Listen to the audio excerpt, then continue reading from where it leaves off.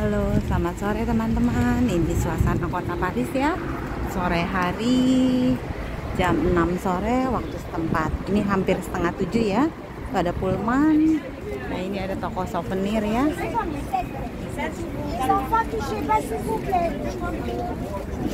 ini gantungan kunci, tempelan kulkas, lengkap sekali.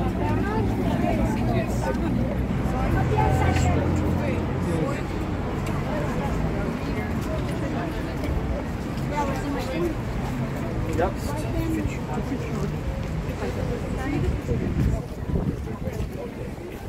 gardu Champ de Mars.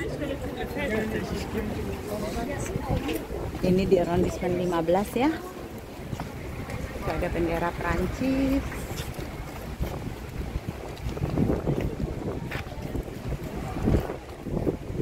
Ini center sport ya.